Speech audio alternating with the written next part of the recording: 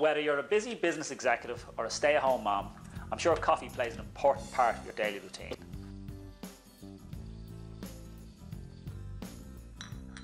With over 500 billion cups of coffee sold globally each year, no wonder it's the second most traded commodity in the world. But have you ever stopped to wonder what an incredible journey these coffee beans take from the hillsides on the far side of the globe until the time it reaches your breakfast table? This is the story of coffee. Whoa, whoa, things will be better in the morning. Whoa, whoa, things will be better with your comfort Joe. Whoa, whoa, things will be better in the morning. Whoa, whoa, things will be better with your comfort Joe. According to legend, coffee was discovered by an Ethiopian goat herder named Kaldi when he discovered his normally lethargic goats were a little bit more excitable when they ate the berries from this evergreen tree. But it was the Dutch who first spread the coffee plant to Central America, and this is where our journey begins. Coffee first arrived in Colombia in 1730, brought in by the Jesuits in the northeastern part of the country.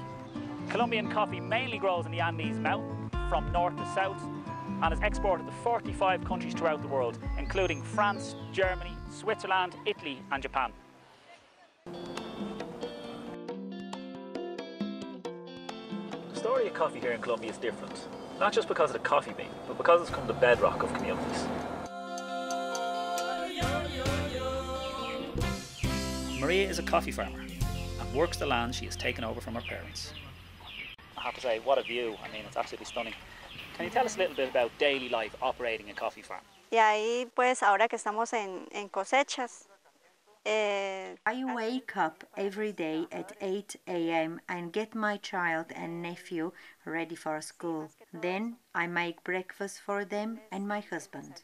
During harvest, I also make breakfast and lunch for people who come here to work. We spend all day picking the coffee beans and processing them. We do this twice a day and then we weigh the coffee. My role is mainly to look after the other people who work here during the harvest. Do you find it a big responsibility um, taking over the farm from your parents? The biggest legacy that my parents gave me was their knowledge of coffee. However, the biggest responsibility is to maintain the coffee farm for my children and to keep producing coffee the way they taught me to do it. Coffee production in Colombia has the reputation of being the best in the world, producing mild, well balanced coffee beans. What do you think makes Colombian coffee so good and so different? El café de Colombia es único por la gente, por las Mostly it's because of the people, the farmers. It brings families and communities together. It's also the characteristics in the environment. And the diversity in the local terroir in the country makes Colombian coffee taste so unique. El café de Colombia es único. Can you tell us a little bit about the importance of protecting the future of quality coffee here in Colombia? El, al mejorar las variedades del café, eh, aquí hay que aprovechar los suelos que son. The good varieties planted here are precious. They are in danger because of climate factors. So, we have to preserve the environment. Triple A sustainability program was created to protect the soil and improve the quality of life of the farmers. Los suelos, mejorar la calidad de vida de los caficultores. The average annual coffee production here in Colombia of 11.5 million bags is the third highest in the world after Brazil and Vietnam. Over 500 billion cups of coffee are consumed throughout the world. Over 90% of coffee production takes place in developing countries, while consumption happens mainly in industrialised economies. Most Colombian coffee is grown in the coffee growing Axis region.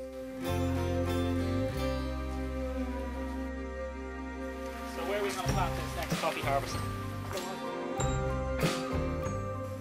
Coffee plantations cover about 690,000 hectares, spread through 694 coffee towns.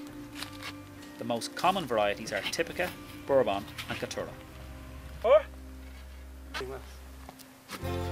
It's much more labour intensive culture than alternative crops in the same region. And as it's not automated, it's time consuming. Okay. Okay? Ahora sí el, Oh, delicate.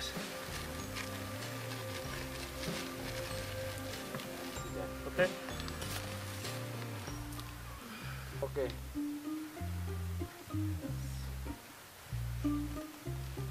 What do you think? Good? Bien. Thank you. Ah, vale. Like many of Colombia's greatest coffee producing regions, ours is situated high up in the mountains where a unique microclimate protects the production of the finest quality coffee. The farmers who live and work here operate small farms of around 2 to 3 hectares each, and the landscape is challenging. As a result, the farmers are not always protected and are vulnerable to a range of external factors. So here we are in the tropics, like it's beautiful sunshine, really hot, but when it rains, it really, really rains. So what do you do to combat against that in the soil erosion and mudslides? Los beneficios que el árbol nos brinda ante las condiciones climáticas extremas, en el caso de. The trees help to stop soil erosion because when they grow they stand solid, which helps against mudslides. And in the summer months they give eh, shadows, eh, so it also helps with the growing of the crops. a las plantas. In this microclimate, these mountain trees keep the crop healthy and they retain water which keeps the soil moist. Can you tell us how the agroforestry program helps reduce carbon footprint and pollution? The trees help reduce the carbon footprint as the tree starts the chemical process of photosynthesis and captures that carbon that people create. Also, the trees help to clean the water and partir de la decontaminate the water through their se usa en roots.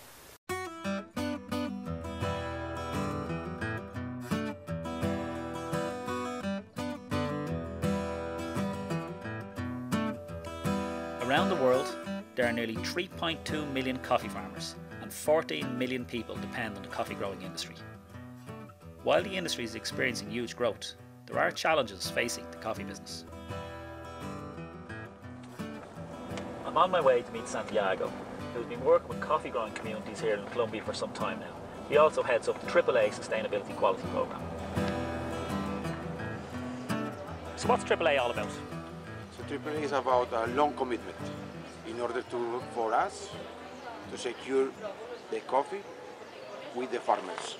The first A is quality, so it's about getting the highest quality coffee. We train the farmers in good agricultural practices related to quality, so we get a really good quality coffee. The other A is sustainability. It's about taking care of the people, the community, their families, their kids, Yeah. and the environment. So it's producing coffee, taking care of those two things. And the other day, the third is about farm management or productivity. It's about having the farms are really a good business to produce more coffee, but higher income. The AAA Sustainable Quality Program is a Nespresso program. It's the way we secure our coffee, the way that we work with our farmers. He mejorado cada día. The main part of the program Eh, involves pues, agronomists coming here to teach me new techniques and better ways of farming eh, that ensures the quality of the coffee. And I have learned a los que nos lot. Before this, I didn't have that technical support from these people who come here and teach me. So, before I didn't have that quality in my coffee and the expertise. Now things are much better. Before I didn't have the composting section of the coffee pulp, but now I do. And I just want things to keep getting better. With these methods of best practice, they have definitely helped the farm in a much better way. pues todo era muy, muy mal organizado.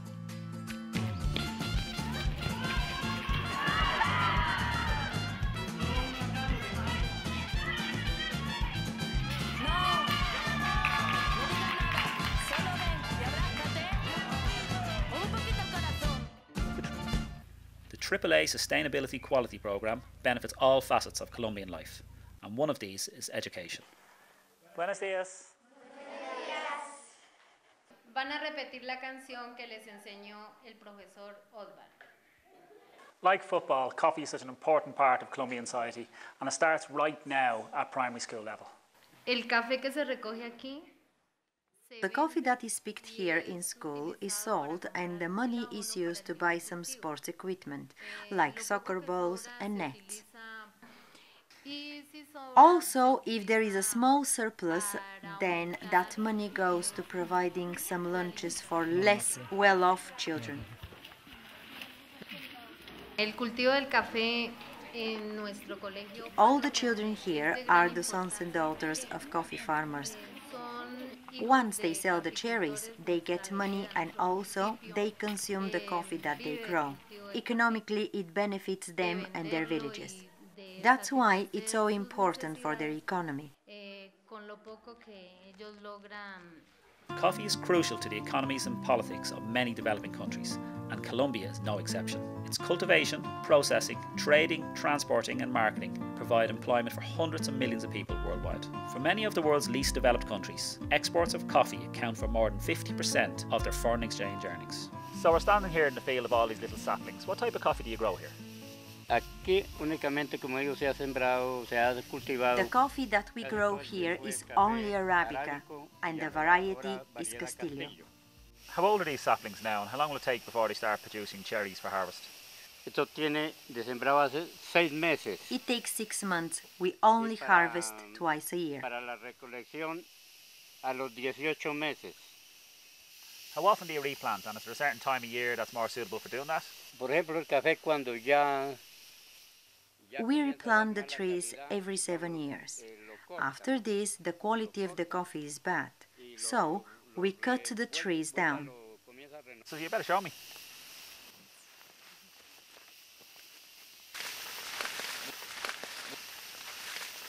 Come they're all different colours. Este es el que ya está de, de cosechar. If the cherries are green, you don't pick them. But when they're dark red, then it's time to harvest them. So how long does the whole harvest process take? Dos meses, Two months. dos meses. La cosecha, pues... I'm 74 years old. Sometimes my daughter and my grandchildren and my neighbors help. Santiago, I've been on the farm, and while I was talking to the farmers, they were mentioning that the younger generations, I suppose their children, are reluctant to get involved in, in coffee farming. And they mentioned that there was the Farmer Future Programme. In Colombia, there's no pension on the field. There's no pensions on coffee. So farmers, when they reach their retirement age, they have no more things to do to stick to, the, to their farms. So with this program, what we are giving is giving opportunity to the farmers with a, a saving fund to get retired at the normal age as they get retired.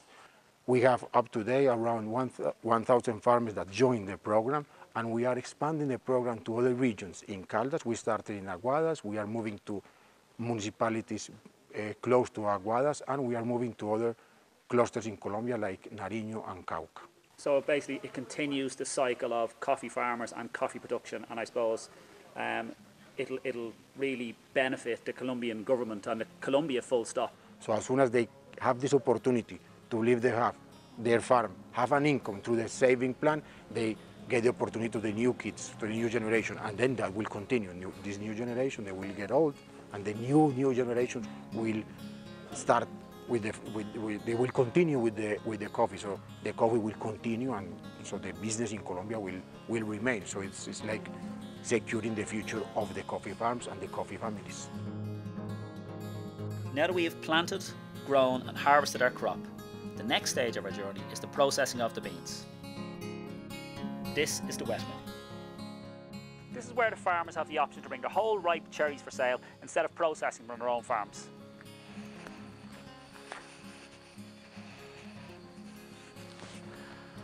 Roberto, why do you use the wet mill as opposed to processing the coffee yourself in your own farm? Sí, para nosotros vender café acá es un gran negocio para nosotros. For us to sell eh, our coffee here is good business. We're saving water, and on the farms we waste a lot of it. Mucha agua. Aquí gastamos menos agua. Se seca el café más rápido. Se- Here the drying process and the washing process is also faster, and even taking the pulp out is also faster. través de la cooperativa, entonces se entrega un café más rápido. Has there been a benefit to the grading of your coffee since you started using the wet mill? Ganamos más porque teníamos problemas con prueba de taza. This allows us to guarantee the good quality that we are looking for. Even from the young people's view, it's better because they don't have to wake up really early to dry the coffee in the farm. So we bring it here for all that process. So it's win-win. The wet method intensifies the aromatic flavours of coffee and reduces its bitterness. Coffees processed using the wet method are described as washed. They are almost always hand-picked Arabicas and referred to by the name milds. Firstly, the coffee goes through several visual tests to gauge the quality of the farmer's yield.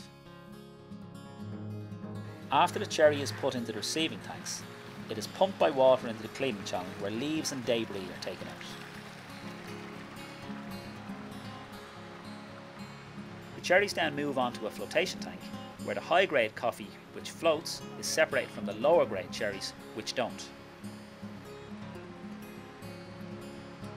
A transport screw device transports the high grade coffee cherries to a pulping machine below and this separates the cherries from the beans.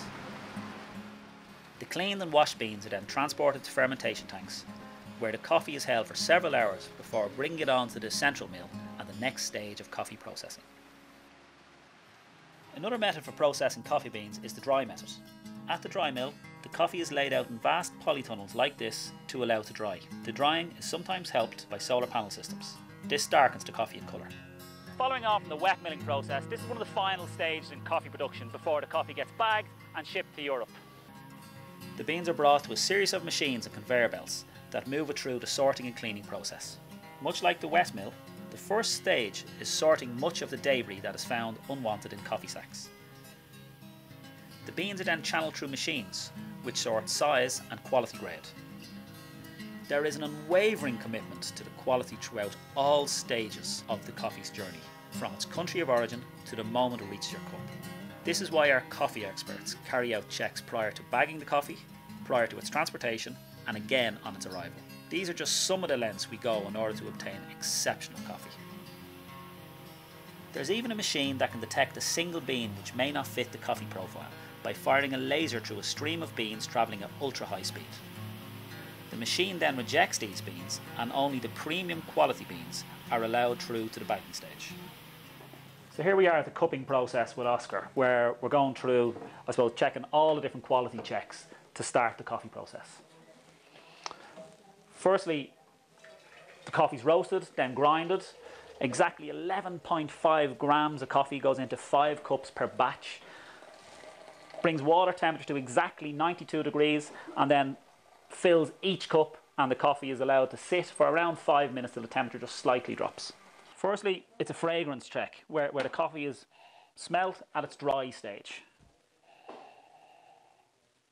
So here we are at the next test. This is the aroma test. This is where the water has been added to the dry coffee. Let's sit for five minutes and then we're checking has the fragrance changed from the dry to the actual wet.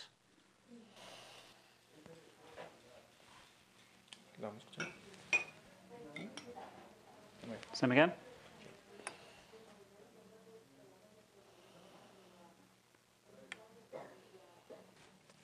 So now the foam on the top of the coffee, the sediment is removed to make way for the taste.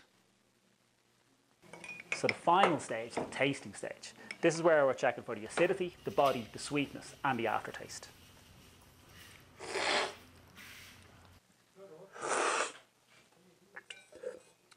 At this stage it's important to, when you're tasting, to suck loads of air through your mouth so the flavour profiles coat your whole mouth and you use all your taste sensations.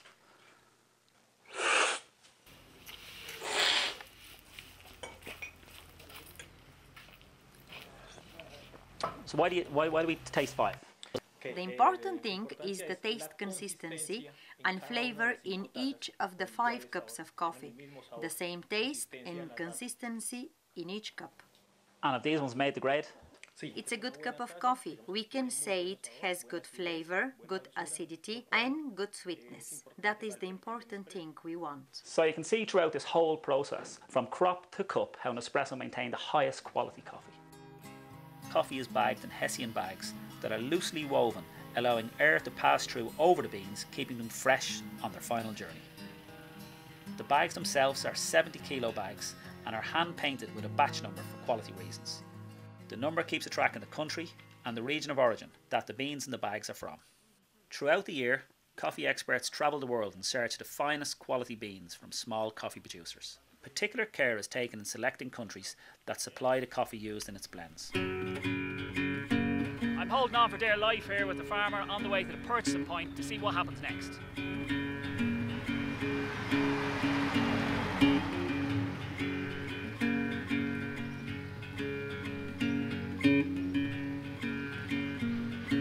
Here we are at the purchasing point, where all the farmers bring their coffee, the quality is tested, and the sale of coffee begins. Market day at the regional cooperative purchasing point is always busy.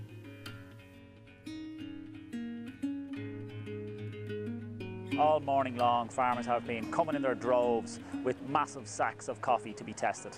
This is where they check the quality and the density of the coffee, and hopefully the farmer goes away with the best price possible. So on the board behind me you can see the price of all the coffees that come in. The standard price is dictated by the New York Stock Exchange and then additional premiums are on top of that, with Nespresso Rainforest Alliance being the top paid premium coffee. Coffee is also bought and sold as a commodity on the New York Stock Exchange. The importance of coffee to the world economy cannot be overstated. It is one of the most valuable primary products in world trade, second in value only to oil as a source of foreign exchange. There's no shame in coming second to oil. Coffee is worth over $100 billion to the world economy, putting ahead of gas, gold, and corn.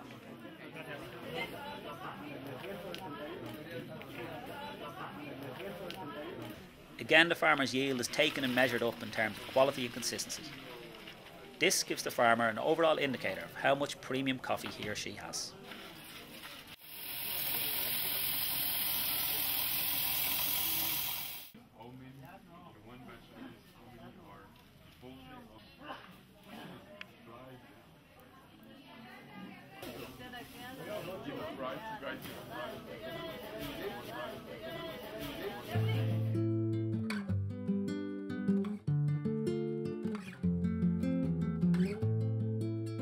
Very start, I didn't really know what to expect to the, to the first time I seen the coffee cherry, um, right the way through. And I suppose the key points that really resonate with me is the meaning, the true meaning of the word sustainable.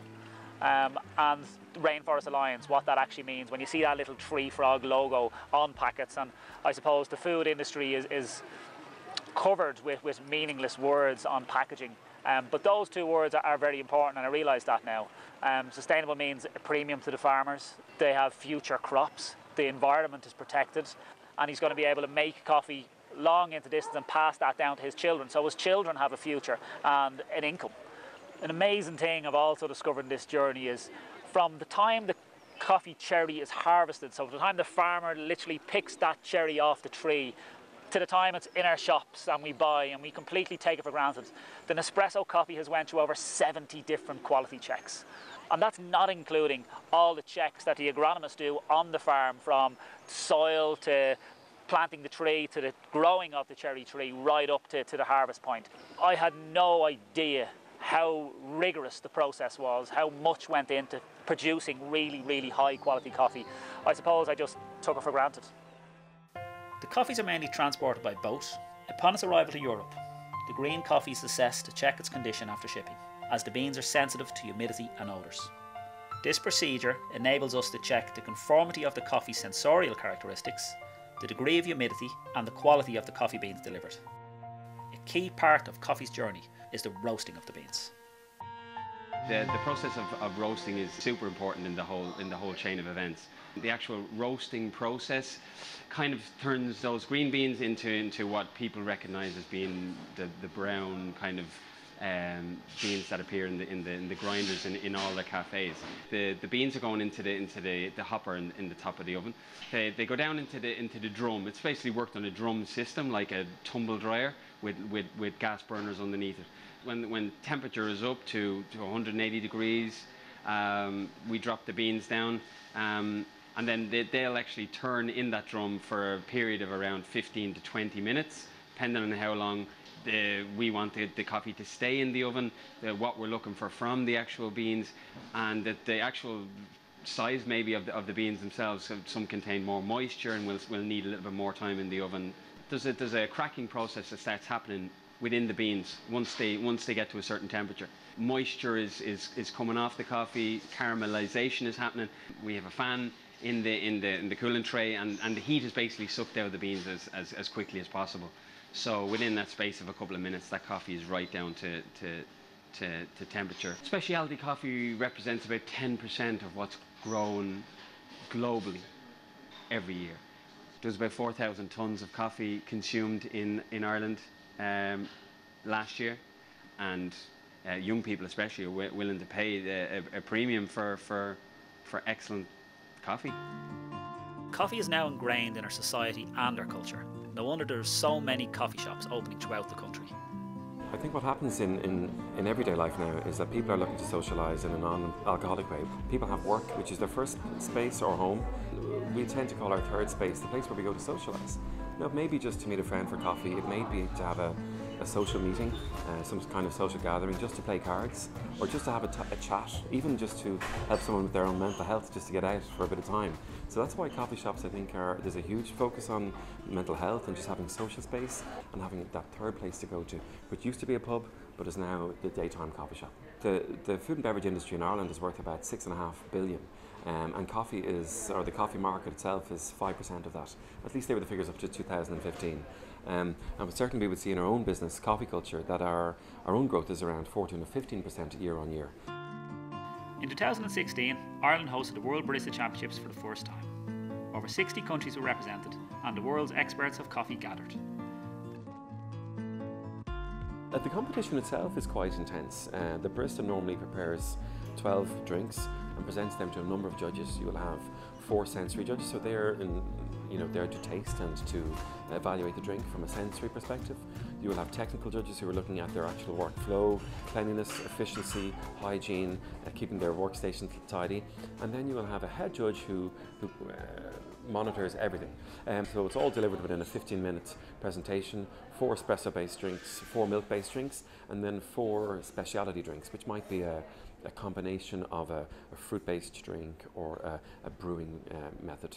And so, in order to get to this standard and to this level, Baristas put in a, a, an amazing amount of practice and time and dedication. What we see in society is that people are much more educated when it comes to coffee, much more educated when it comes to wine, in terms of their own sensory experiences and what they what they see, and, and definitely in terms of how they've travelled and what they're what they're taking back from other cultures. So, to the age old question how should we drink our coffee? With milk, sugar, or black? I think in reality, there's a lot of um, preconception about how we should drink coffee, but, the, but in reality, the way people want to drink coffee is actually probably the first place to start. How do you like your coffee and why do you like your coffee that way? And that's part of what we want to do when we create this range of coffees is think about them, yes, on their own, how can I drink that as a ristretto, an espresso, or a lungo? But also, how is this going to work as a recipe? How am I going to, if I add milk and different types of milk, is that going to change the profile? Because ultimately, a coffee is a, a sensory experience, and that sensory experience can be enhanced by adding milk to it, or it can be perfectly, perfectly intact if you leave it on its own. And either works. The term Grand Cru we use is directly lifted from the world of wine.